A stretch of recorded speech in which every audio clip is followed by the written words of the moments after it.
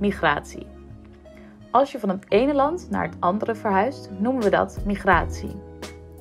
Ieder jaar komen er veel nieuwe mensen naar Nederland om hier te leven en wonen. Deze migratie heeft veel invloed op de Nederlandse samenleving. Soms migreren er zoveel mensen naar Nederland dat we spreken over een crisis. Migranten hebben vaak een positieve invloed op ons land, bijvoorbeeld door te werken en bij te dragen aan de economie. Maar voor migranten moet wel gezorgd worden dat ze onderdak en andere voorzieningen hebben. Dit kan lastig zijn als er in één keer heel veel nieuwe migranten het land binnenkomen.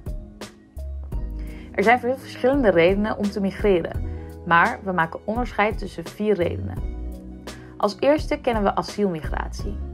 Mensen komen dan naar Nederland omdat ze niet veilig zijn in hun eigen land. Als tweede is er arbeidsmigratie. Mensen komen dan naar Nederland om te werken. Als derde is er kennismigratie. Dat is wanneer mensen naar Nederland komen om te studeren. Als vierde en laatste reden kennen we gezinsmigratie. Hiervan spreken we als mensen naar Nederland komen om samen met hun gezin te zijn.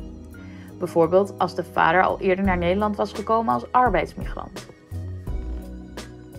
Via de app, kies je vak, stel je vraag en krijg direct hulp. Mr. Chat. Geen probleem.